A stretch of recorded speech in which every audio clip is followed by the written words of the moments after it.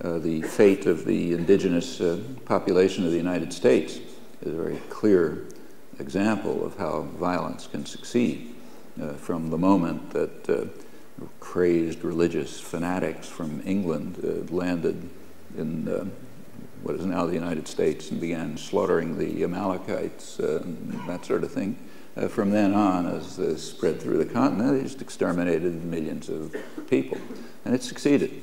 It's kind of interesting to see how that success is treated as well. There's no time for that. Uh, so yes, violence can succeed, but often at tremendous cost, or violence can elicit more violence. Plenty of examples of that too. Uh, examples I just gave, including the invasion of Iraq, are some, but they're much more important ones uh, right now, current ones. Uh, so take this, this one is vastly more important. Uh, two months ago, the, uh, Russia carried out its uh, largest military exercises in two decades. They displayed uh, new, more sophisticated weapons of mass destruction targeting the United States and Europe. Uh, and the Russian leaders made it clear that this was a direct response to Bush administration uh, aggressiveness and militancy, borrow Schlesinger's term, exactly as had been predicted, incidentally predicted right away that this is going to lead to a Russian response, and it has. Uh, one prime concern that the Russian generals expressed was uh, Washington's current development of what are called uh, low yield nuclear weapons, popularly called bunker busters. Uh, the Russians can figure out just as well as U.S. strategic analysts do that these weapons are designed uh, to destroy Russian command centers, which are hidden inside mountains, just like the American ones, uh, and could theoretically be destroyed by deep penetration, low yield uh, bunker busters. Uh, uh, that would destroy their nuclear arsenal. Washington's insistence on using space for military purposes, this again unilateral, uh, with, this includes devastating first strike, is another major concern of Russian planners. Uh, uh, the, uh, and, and, they were acting as you'd expect, and was, as was predicted, by building up their offensive military capacity. U.S. Uh, uh, analysts suspect that the Russians are now duplicating the U.S. development of hypersonic cruise vehicles. These are these can orbit space they can orbit in space at a low altitude right outside the Earth's atmosphere, and they can instantly penetrate the Earth's atmosphere, uh, uh, delivering a devastating attack uh, anywhere without any warning. And the Russians are probably duplicating it. U.S. Uh, analysts also estimate that Russian uh, military expenditures have approximately tripled in the Bush Putin years. So, in fact, there may be some truth to uh, what Bush described as his gut reaction uh, when he met Putin for the first time and he looked into his eyes and he saw that they were soulmates. Perhaps they are. Uh, the uh, Russians have also formally adopted uh, Bush's doctrine of so called preemptive strike, meaning aggression at will. that's the revolutionary new doctrine of the national security strategy. They're also relying on automated response systems. In the past, we know that these have come literally within minutes of uh, launching a nuclear strike, barely aborted by uh, human intervention. By now, the systems have deteriorated with the collapse of the Russian economy under the market uh, fanaticism of the last 10 years. Well, we know a lot about the U.S. systems. Uh, the U.S. automated systems allow three minutes for human judgment uh, after computers warn of a missile attack. Uh, and that's uh, a daily occurrence. So every day there's a three minute period in which you discuss whether to allow the world to be blown up or not. Uh, uh, after that, you'll be happy to know comes a 30 second presidential press briefing after the three minutes. Uh, the Pentagon has also found very serious design flaws in uh, the computer systems, computer security systems. This will surprise absolutely no one who has any acquaintance with compl complicated uh, software and uh, computers. In fact, for that matter, anybody who has a computer. So it's known that there are going to be design flaws, and they've found them. Uh, the, uh, but this is a lot worse than your hard disk crashing. Uh, uh, they have also discovered that errors in the computer security systems could allow terrorist hackers to break in and simulate a launch. that's called an accident waiting to happen by U.S. strategic analysts. and the Russian systems are far less reliable. Well, the dangers are very severe, uh, and they're being consciously escalated by the threat and use of violence. And here we're talking about real threats to survival of the species. This is not thousands of people being killed, uh, but they're being consciously escalated uh, because uh, of the priorities, which are rational in their own terms. Uh, right now, the, uh, the U.S. is deploying what's called a missile defense system in Alaska. The uh, it's, it's, being, it's coming under criticism. Uh, the criticism is that it's obviously a political gesture timed for the election and that it's using uh, untested technology, which probably won't work, uh, at an immense cost. Uh, all of that may be correct, but there's a much more fundamental criticism. Uh, the fundamental criticism is that it might work, or it might look as though it's going to work, and opponents have to make a worst case analysis. Uh, so if it looks as if it might work, they're going to have to take countermeasures. And the countermeasures will be massively building up means to overwhelm it.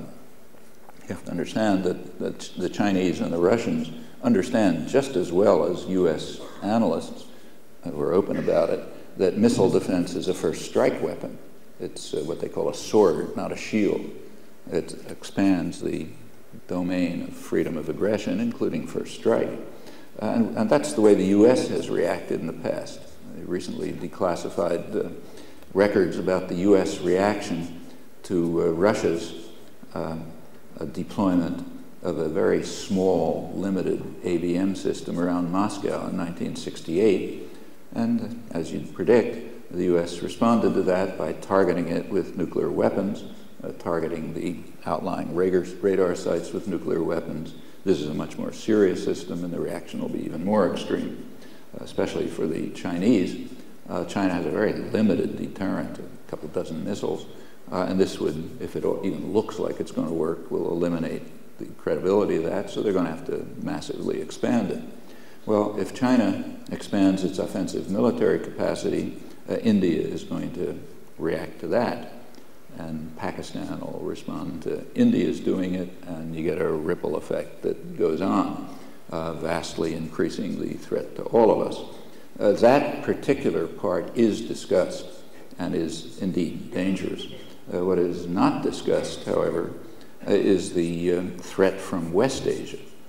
Uh, now, it is discussed internally. So, the U.S. Strategic Command, the top planning agency for nuclear weapons, it's former head, General Lee Butler, uh, describes uh, Israel's weapons of mass destruction, nuclear weapons and other weapons of mass destruction. Uh, he describes it as dangerous in the extreme, uh, both of, because of the threat that it poses and because it incites uh, proliferation in response. Uh, actually, the Bush administration is now enhancing that threat. Israel already has its air force is larger and technologically more advanced than any NATO power other than the US, according to its own estimate. It's not because Israel's so powerful, it's because it's an offshore US military base in effect. So their air force is already more powerful than, say, Britain's uh, or any other NATO power. Uh, and the United States is now sending them uh, over 100 of uh, the most advanced uh, jet bombers, uh, F 16Is, with the announcement that they can, among their, that they're, capability, they, they're capable of flying to Iran and back. They also announced that these are updated versions of the F-16s that uh, Israel used to uh, bomb the Iraqi nuclear reactor, the Osirak reactor in 1981. Uh, there's a kind of a story about that, that the Israeli bombing deterred Saddam's nuclear weapons program it was known right away that that's not true. Uh, the Osirak reactor was inspected by the head of uh, Harvard's uh, physics department immediately. He's a nuclear uh, power specialist, and he reported in Nature, the world's main science journal, that it's just not designed for nuclear weapons. Uh, however, we now know from defectors and other evidence that it did initiate Iraq's nuclear weapons program, another indication of the standard cycle of violence inducing violence. Uh, well, uh, uh, the Israeli press, uh, in their Hebrew versions, they don't translate this into English, uh, adds that uh, the United States is now providing the Israeli Air Force with what they call special weapons. Okay, we can guess what they are. but you can figure out what Iranian intelligence assumes. This is all aimed at Iranian intelligence, who, of course, read this material. they are going to have to make a worst case analysis. You can figure it out. I don't it telling you. Uh, perhaps the purpose is to incite some Iranian action that will be a pretext for an attack.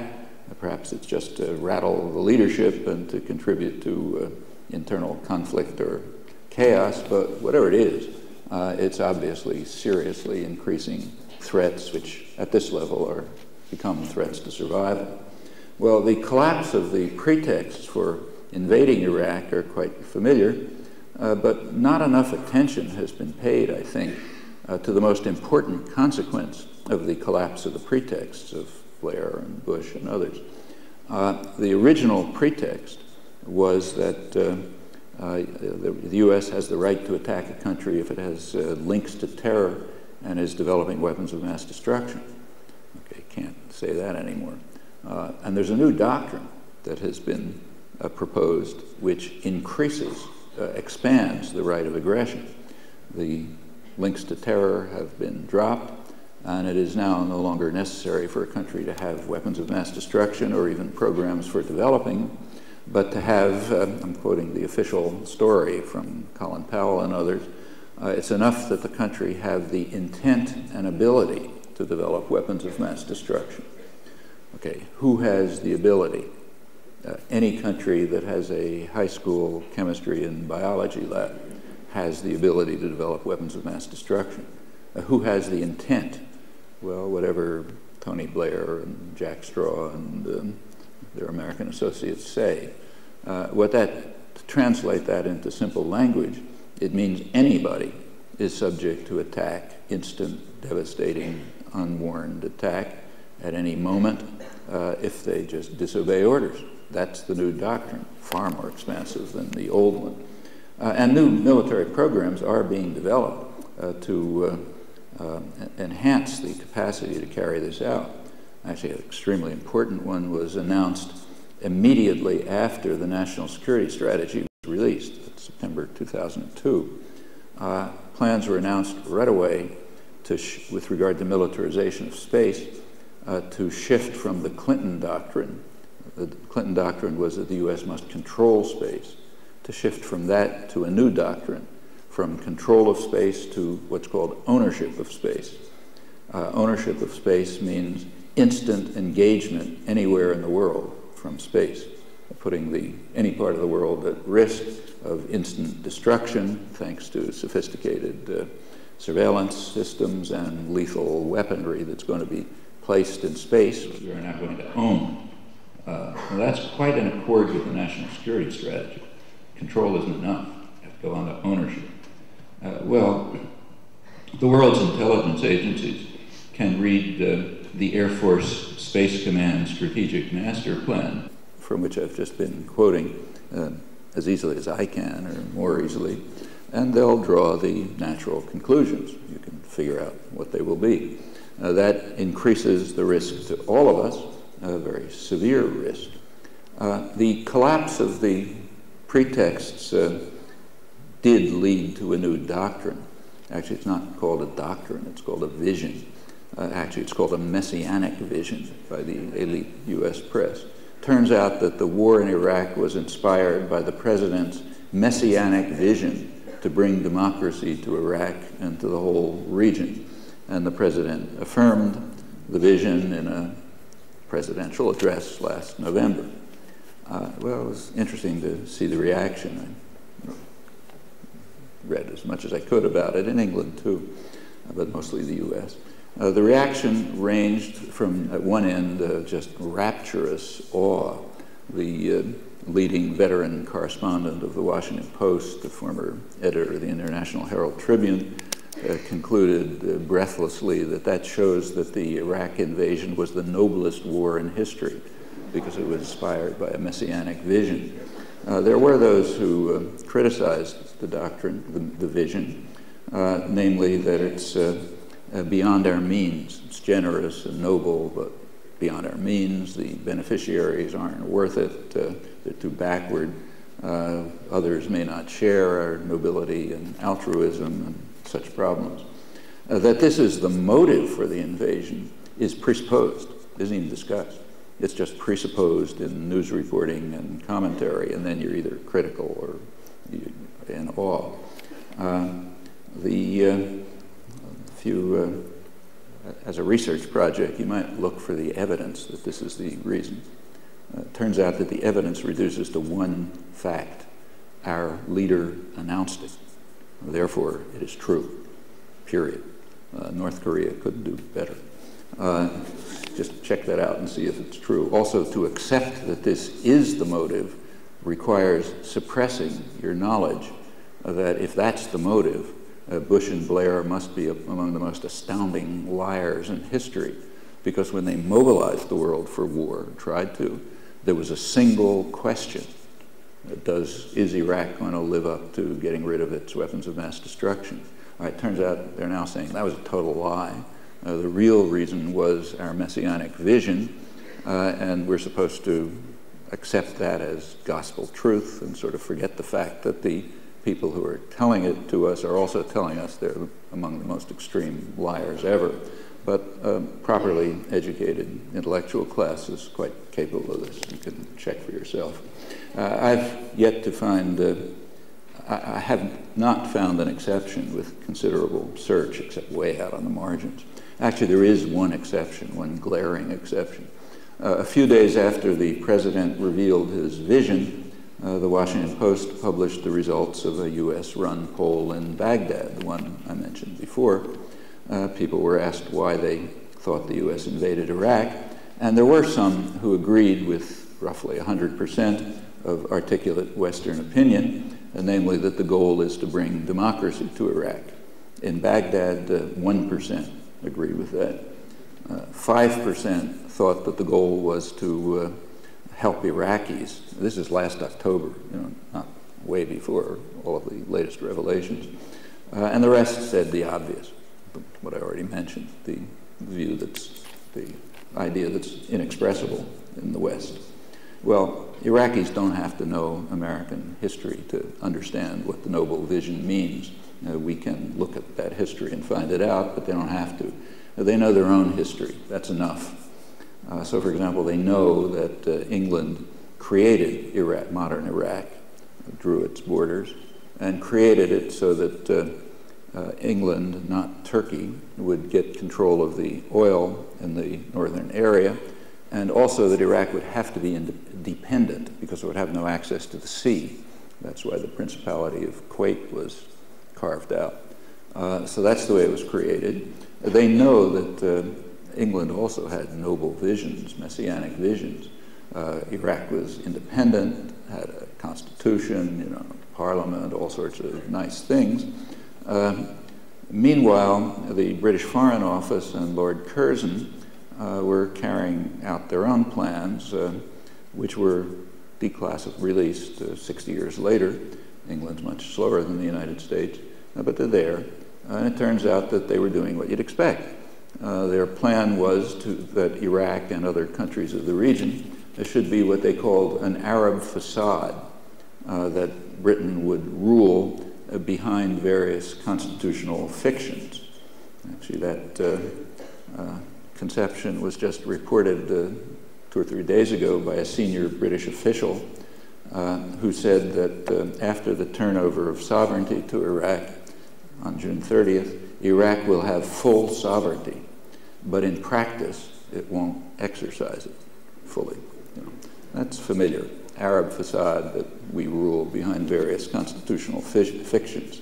And uh, Iraqis didn't need the British Foreign office records to know this. They know it from their own experience, like the people at the wrong end of the clubs typically. And furthermore, they can see what is now happening right in front of their eyes.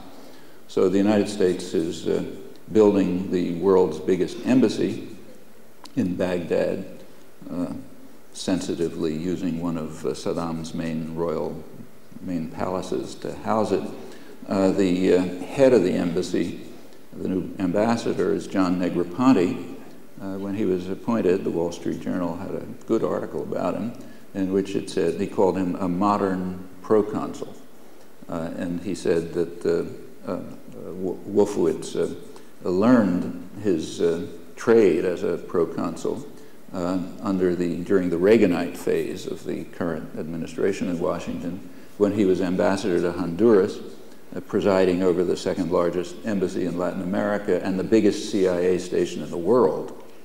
Uh, not because Honduras is such a center of world power, but because his responsibility as proconsul, which is what he was called in Honduras, his responsibility was to supervise the military bases uh, from which the U.S. mercenary army was carrying out a, a, a, destructive, murderous terrorist war against Nicaragua to stop another effort at successful defiance. Practically destroyed the country, uh, but it's regarded as a grand success uh, because now they no more successful defiance. That was his job in Honduras. Uh, so he learned his trade as a proconsul. Uh, that led to the United States being brought to the World Court condemned by the World Court for International Terrorism, ordered to terminate the crime, after which the current incumbents in Washington, including the moderate Colin Powell, escalated the crime. Uh, they were ordered to pay retribution, uh, reparations, huge reparations. You know what happened to that. Um, when the U.S. refused, uh, uh, Nicaragua took it to the Security Council. there were two resolutions in which the Security Council uh, uh, uh, supported the, restated and supported the World Court judgment and called on all states to observe international law. they were vetoed by the United States, with Britain politely abstaining, and they're out of history because they say the wrong thing, like terror against other people. Uh, well, that's uh, Negroponte's history. Uh, and uh, he's perfectly qualified to uh, run the world's biggest embassy in the world in Iraq in order to transfer sovereignty to Iraqis, we're told. Okay, you can decide whether you want to believe that. Iraqis can also see, as we all can if we want, that the U.S. is insisting on keeping military bases and military forces essentially permanently. And as Paul Wolfowitz puts it, uh, only a stable, prolonged U.S. troop presence and a weak Iraqi army uh, will, be, will allow us to nurture democracy in Iraq. Okay, you can decide what you think about that. Uh, Wolfowitz, incidentally, is called the idealist in chief of the Bush administration, the visionary leading the crusade for democracy. If there were time, there isn't. I'd run through his record, which is intriguing. Uh, there's rarely, you rarely find anyone with a record of such visceral hatred of democracy and support for tyranny shown in case after case, but we'll put that aside. Uh, the, uh, it doesn't matter for the messianic vision uh, that uh, Iraqis overwhelmingly want Iraqis to be in, in uh, charge of security. not all, again. So 7% of Iraqis want U.S. forces to be in charge. 5% uh, want the U.S. Uh, appointed governing council to be in charge. These are British run polls last October again. Uh, now, of course, it's much worse. but it just doesn't matter. six months ago, not now, 80% of Iraqis said they had no confidence in U.S. UK forces or in the civilian authorities. Now, of course, much worse. Uh, but none of this has uh, any relevance to the uh, uh, messianic vision.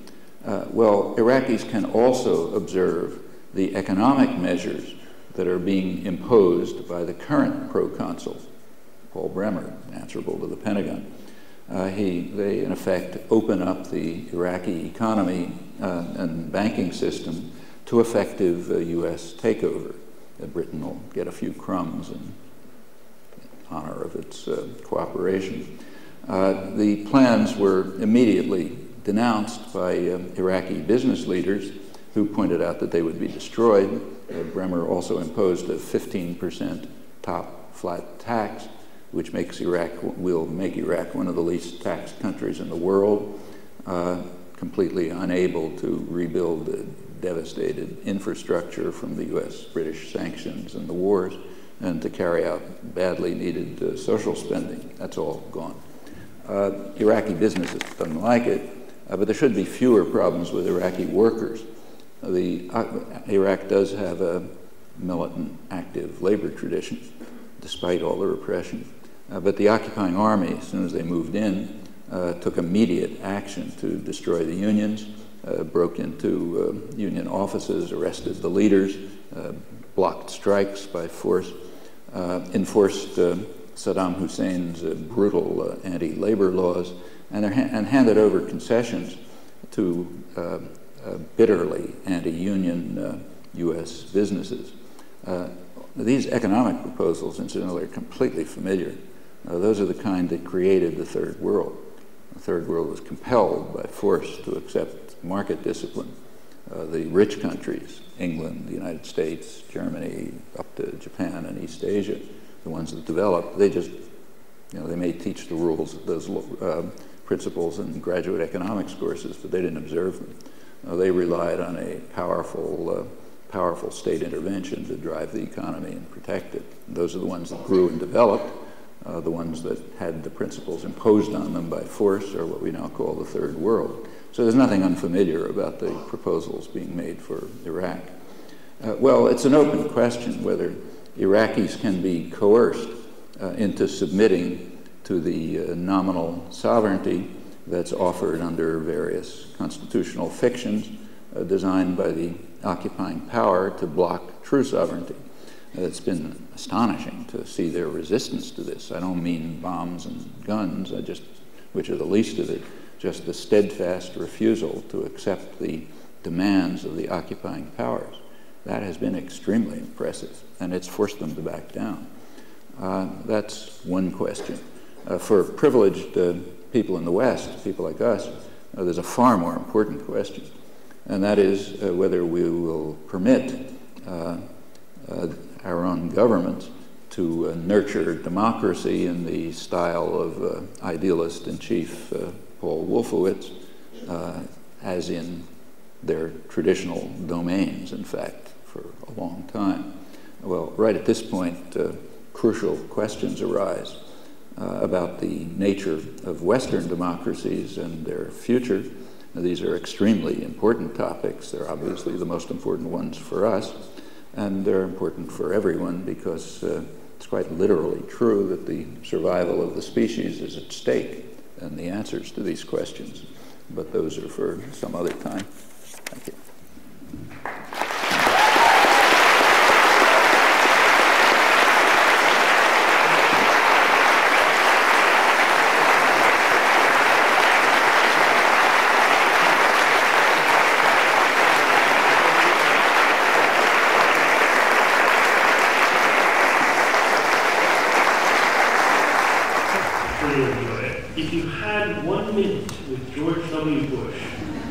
You say? To tell you the honest truth, I, um, I doubt very much that George Bush has much to do with policy formation. I mean, the way the, the presidency is more or less like um, royalty in the United States. So the Queen of England opens Parliament with a speech, right? But nobody asks whether she believes it, you know or whether she understands it. Uh, her role is to, it's a ceremonial role. You present, uh, uh, it's a role that's connected with unity of the people, uh, patriotism, obedience, and so on and so forth. Uh, the content is something else. Uh, that's by people who run the country.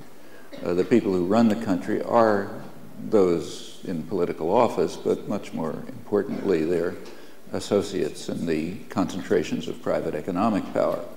Uh, that's where the country's really run. And that shouldn't be a big secret either.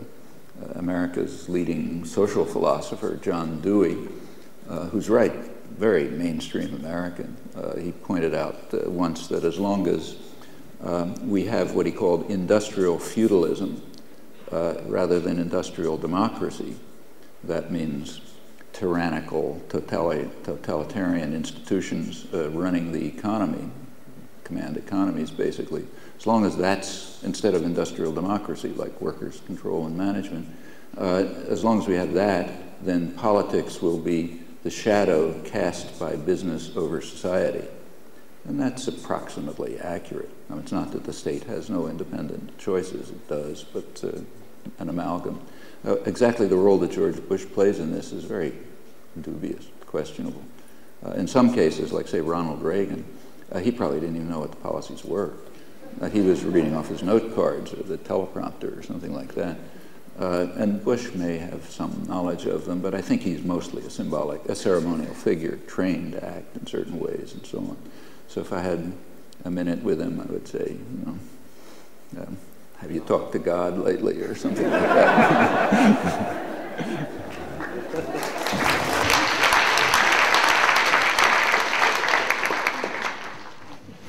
we have a question from Dan Rigby, a two-part question. Uh, if John Kerry wins the presidency, will it make any difference in Iraq? And should Ralph Nader still stand? Uh, if Kerry wins, which I think is unlikely, just looking at the relative uh, funding of the two candidates, and elections are mostly bought, uh, it, uh, but suppose he does. I doubt if it would make much of a difference in Iraq. I mean, their policies, I mean, it's very hard to know what Kerry's policies are. He's been very careful not to, his again, his advisors have been very careful not to formulate them. But chances are it would be more like Albright and Clinton. That is, same policies, but not so uh, stupidly and arrogantly formulated and implemented, uh, which is a difference. And you know, in a huge system of power like the United States, those small differences can translate into large outcomes. Uh, the major difference between the two, I think, would be domestic. The Bush administration are real extremists. I mean, it's, it's a narrow political spectrum, but they're way out at an extreme. I mean, they want to simply, and they're pretty brazen and open about it again, they want to dismantle uh, everything that has been achieved by popular struggle over the last century uh, everything from the limited measures of uh, social welfare, you know, support systems, pensions, uh, minimal medical care, uh, uh, to progressive taxation. In fact, any, about anything you can think of. I mean, they want to create a real utopia for the masters. Very powerful state, they're not conservatives. A very powerful state which serves the rich and powerful and somehow controls everybody else one or another means. I mean, there is a kind of a quasi-fascist uh, strain there. I don't like to use the term, but it's there. Uh, and uh, except that the fascists did develop welfare systems, and they want to destroy those. Uh, and the Kerry will be less extreme in this respect, just as Clinton was less extreme. Uh, and those make big differences too. Like, you know, you have a disabled mother you have to take care of. It makes a difference how extreme the uh, policies are. Uh, uh, those differences, I think, are significant. That gets to the Nader question. Uh, my feeling is that uh, it, it, should be a very high priority to keep Wolfowitz, Rumsfeld, those characters, prevent them from getting another mandate. if they do, they can be extremely dangerous in every respect. The, you know, the difference between militarizing space under the conception of control and militarizing it under the conception of ownership uh, may be the difference between survival of the species and non-survival. I mean, neither is very attractive, uh, but there are differences. And the same is true on the domestic front and to a limited extent elsewhere. So I do think it's a priority. Uh, Nader doesn't. I mean, I like him, you know, known him for a long time. I like what he stands for and does, uh, but I really think he's making a mistake uh, actually what he ought to do, in my opinion. Uh, and actually, this has been, uh, there are things he could do to be in the campaign and not affect the outcome. Uh, there's some technical things he could do. Actually, one of them was proposed by a well-known constitutional uh, law professor at uh, uh, Yale University, Bruce Ackerman, and, and it's an interesting suggestion. Uh, in the U.S. elect system, you don't elect people; you elect electors, okay? and the electors elect the people, the, the candidates. I mean, that was part of the original Madisonian system to try to marginalize the public and keep power in the hands of the wealthy. Uh, now it doesn't have quite that function, but the system is still there which means that Nader could, if he wanted to, uh, run, but uh, select the Democratic electors. That would mean you're voting for Nader, but the elector is Kerry's. Okay, so that's a way to run and use the opportunity to say whatever you want and bring issues up and so on and so forth, but not affect the election. I mean, that's one way to do it, and there are other ways. And my, my opinion is that's what he ought to do. It's fine to bring up issues and discuss things and so on and so forth, uh, but to act uh, to to act so as to bring back into office the people around Bush, which is exactly what it is, uh, that's just not sensible in my opinion. Yeah, Ron Senchak, uh, former U.S. Navy from uh, Newark, New Jersey, uh, first became political in, in the Vietnam War, when in saluting the and came out burning it. Uh, and I've been very active in Manchester in the Stop the War Coalition. We've over 20,000 people on the streets and we're still going strong here. But I did want to ask you the difference, differences that you might see between the anti-war movement uh, in the 60s and the early 70s and the anti-war movement now. I think it's, it's much more, I'm optimistic. People around the world are talking about a different world now, much more than they were before, and I'm optimistic. Absolutely. I, I completely agree with you. I mean, in the 1960s, we kind of forget, but the anti-war movement didn't exist uh, for years after the war in Vietnam began. Literally didn't exist. I mean, there was so little opposition to Kennedy's uh, attack on South Vietnam that nobody even remembers that it took place. I mean, you have to study to find out it took place, but it did. In 1962, uh, Kennedy sent the U.S. Air Force to start bombing South Vietnam, uh, initiated uh, chemical warfare uh, in South Vietnam, which has an estimated 600,000 victims, it's not small. Uh, started rounding up people, programs to round up uh, ultimately millions of people in what amounted to concentration camps, and that then just escalated, and there was no protest at all. You know, I mean, no American president could even dream of doing that today. And that's because of the activism that developed later in the 60s and even more so in the 70s and 80s and 90s, which has just changed the country, uh, changed consciousness enormously. I mean, finally, an anti war movement did develop in the United States, and in, uh, same in Britain, I should say. Uh, anti war act activism here was extremely low in the 60s, virtually non existent. I remember very well because I was flown over by leaders of the anti-war movement here through the 60s because they needed somebody to give a talk, you know. Uh, but, and uh, this went on for a long time. Uh, by the late 60s, it had developed, it had become big, but kind of narrow. It expanded enormously afterwards. I mean, the major popular movements that one thinks of as movements of the 60s, uh, the main ones that really influenced the society and changed it are not from the 60s. They're from the 70s and the 80s. Uh, so take, say, the women's movement. That barely existed in the 60s.